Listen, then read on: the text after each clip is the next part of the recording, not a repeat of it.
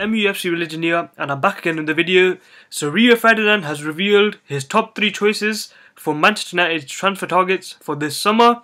Um, and he said that on the BBC Radio 5 uh, live 606 Savage Social podcast. And the top three targets he mentioned were Jadon Sancho, Kalidou Koulibaly, and Saul Niguez.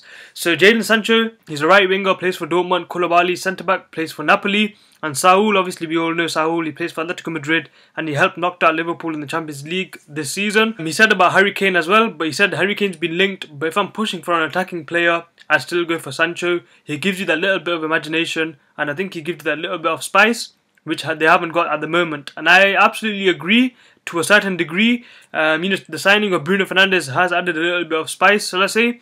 a bit of innovation, bit of creativity.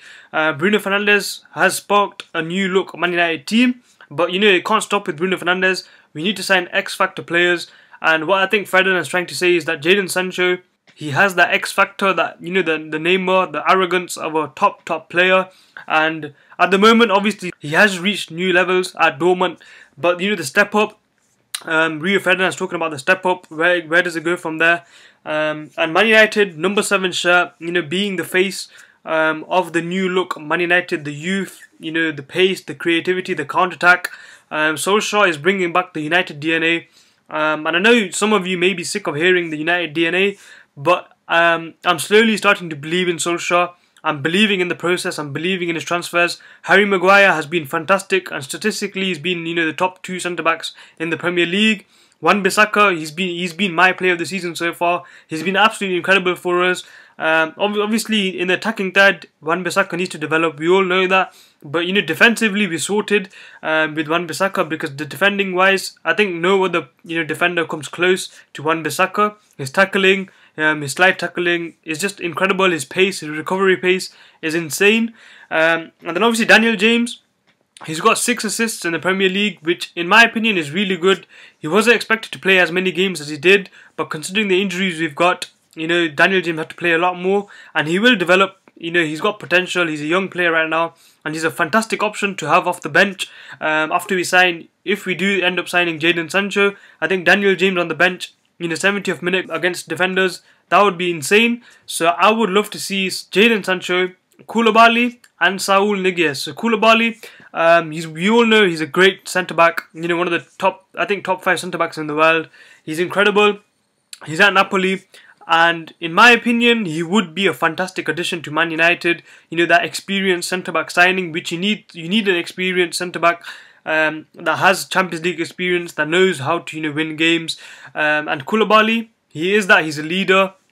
He's a great you know player, as we all know. But at the moment, he's 29 years old. He's getting older. He's not going to get any younger. Will you know? Is he that suitable type of signing? Is he this type of signing that Ole Gunnar Solskjaer will go for? I don't think so. I don't think he fits the profile of a signing that Solskjaer's you know, new targets are. He wants young, hungry players, and I don't think Koulibaly fits that description. However, you need the mix of experience. We need experience and we need youth. So we never know Koulibaly could end up you know joining or leaving Napoli, joining Man United, and other clubs have been linked to him. For example, Barcelona, Tottenham Hotspur have been linked to him strongly as well. So we'll see what happens with Koulibaly. But you know, I would welcome him at United if we do end up signing him. He would be a fantastic addition to the team. And then Saul, Saul, I love him. I've always loved him. At Atletico Madrid, when we've watched him play, he has been fantastic for them you know the way he carries the midfield, the way he carries himself on the pitch. He's that he's a great player. I would love to see him at Man United, you know, as a centre mid signing.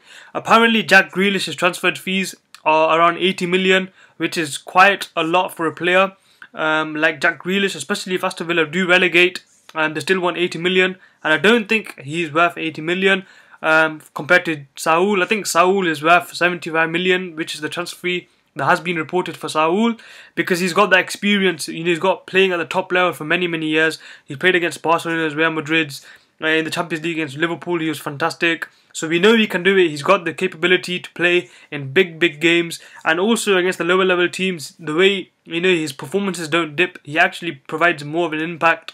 So Saul, he would be a fantastic signing for Man United. I would love to see that happen. Will it happen? Obviously, we're not sure. This is just Rio Ferdinand's top three targets. So it's Jadon Sancho, Koulibaly, and Saul Niguez. So anyways, let me know what you think about these players in the comments below. Let me know other players you would like to see signed for Manchester United. It's been MUFC Religion. Please like, subscribe, and I'll see you guys later.